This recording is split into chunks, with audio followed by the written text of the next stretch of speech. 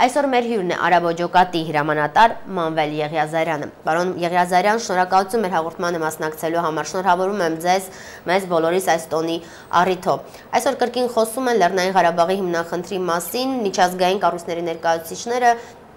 կանխատեսում են, որ այս տարի խնդիրը հնարավոր է լուծել։ Դուք ինչ եք կարծում։ Ես կարծում եմ, որ այս տարի եւ եկող տարի հայ ժողովուրդը հայ հայ հայերս դել պատրաստ են Ղարաբաղյան խնդիրը լուծելու մենք հենց կարծում եմ որ այս տարի մենք ամեն ինչ պետք է անենք որպեսզի Ղարաբաղյան խնդիրը չլուծի մենք պարտավոր ենք ստեղծել ամուր երկիր կարգավորել երկիրը զորքը միայն այդ ժամանակ մենք իրավունք ունենք Ղարաբաղյան խնդրի մասին խոսել այսօր մենք այդ կարգավիճակը չունենք այս այս ռեգիոնում որ կարողանանք Ղարաբաղ իրավունք ունենանք Ղարաբաղի խնդիրը լուծել ինչպես եք պատկերացնում դուք լուծումը որն է ձեր պատկերացումը լուծումը միանշանակ ես պատկերացնում հետեւյալ կերպ Արցախ աշխարհը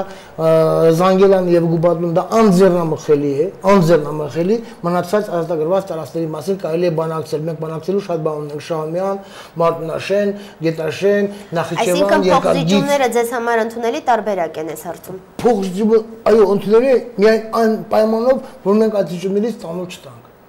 Այսինքն տարածք տարածքի դիմաց։ Չափը չափի դիմաց։ Անկան։ Չափը չա, իշքան տարածություն տալիս եք, այնքան տարածություն պետք է մենք ստանանք։ Պարոն Եղիազարյան, բոլոր դեպքերում այսօր իշխանության են այնպիսի մարդիկ, որոնք ժամանակին իշխանության եկան հետևյալ կարգախոսով ոչ մի թիզ հող։ Բոլոր դեպքերում այդպիսին են այսօրվա իշխանությունները։ Իսկ այսօր խոսում են արդեն փողզիջումների մասին։ Ինչպես է սա գնահատում։ Հասկանում եք, մարդիկ արդեն նշանակում է տվյալ մարդիկ արդեն հոգնել են իրենց կարգավիճակից եւ նրանք պետք է իրենց տեղը լսեն նորերին։ Դրանք պետք է գնան պատմության գիրք արդեն։ Բավական է, որ մենք իշքամ զիջել ենք, իշքամ դարձել ենք շատ դեմոկրատ ենք դարձել։ Մենք մոռացել ենք, որ 15 տարի առաջ էինք շատ դեմոկրատ, մեզ ցելի քաշեցին։ Դրա համար մենք բոլոր աշխարհին պետք է ասենք, առաջի հերթին պետք է ապահովված լինի Արցախ աշխարհը, հայ քաղաքացին մենք ոչ մեկի գարանտիային իրավունք չունենք այսօր հավատալու, որտեղ մեզ անդադ խաբել, անդադ սպանել են։ Դրա համար ճիշտը ոչ մի թիզ հողն է այդ նշանաբանն է ճիշտը բայց քանի որ մենք ասեն հա, հայտնվել ենք աշխարհի կենտրոն բանի մեջ դրա համար մենք պարտավոր ենք այնպեսի լուծում տալ այս Ղարաբաղյան խնդրին որ առանց կորուստի մենք դուրս գանք այս պատմությունից։ Պարոն Եղիազարյան, փաստն այն է, որ այսօր մենք ունենք փայլուն հաղթանակ, ինչպես եք վերաբերում այն փաստին, թե ինչպես ենք մենք նշում այսօրվա օրը հաղթանակը տարվել է առաջին նախագահի օրոք, որը այսօր Երևանում է, բոլոր այս միջոցառումներին պետական մակարդակով չի մասնակցում, որոշ մարդիկ, որոնք այսօր իշխանության են, վերագրում են այս հաղթանակը իրենց, իսկ արդյունքում նրանք, ովքեր մասնակցել են պատերազմին, մենք այսօր տեսանք, թե ինչ վիճակում են հայտնվել։ Մենք միասնական ենք գոնե մեր տոները նշելու հարցում։ Ոչ, գիտեք ինչ կա, ես դրա համար շնորհավորում եմ հաղթանակը մեր ազնամարտի մասնակիցների եւ ոչ թե տոնը, ոչ մի տոներ գոյություն չունի այդ տղաների համար։ Եթե տղաները չեն կարողանում 5 հոգանոց սեղան գցել եւ մի բաժակ բարձրացնել նշել տոնը ի՞նչ տոնի մասն է խոսքը եւ տղաները ցավերի մեջ գալարում են եւ դեռ չեն կարողանում քնել որպեսզի կարողան իրենց ցավ ցավերը ցավազրկող առնեն ի՞նչ տոնի մասն է խոսքը ես ցանկանում եմ որ մյուս տարի ասեմ մենք տոնենք այնպեսի Հայաստանը մեր տոնը որ այնպեսի երևույթները դուրս կմղվի իսկ ինչի համար իրական մարդկանց նրանք չեն կանչում ասպարեզ որտեղ այսօր իշխանություններում մարդիկ են հայտնված որոնք Արցախյան պատերազմի ժամանակ շատ քիչ ներդրում ունեն կամ ոչինչ չունեն ներդրած Պատճառը միայն դա է, որ ոչ մեկին չեն հրավիրում, որպեսզի մասնակցի Արցախյան տոնակատարությանը։ Եվ ես չեմ կարող այսօր նաև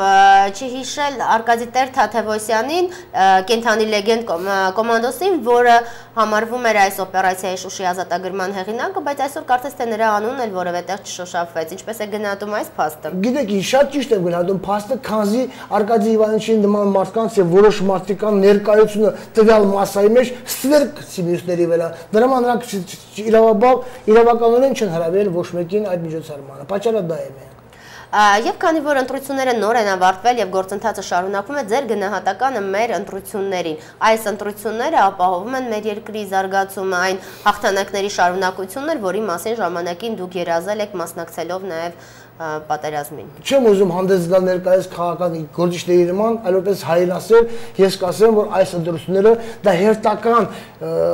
շարաչուն ապտակներ հայ ժողովրդի ազնվությանը, հերթ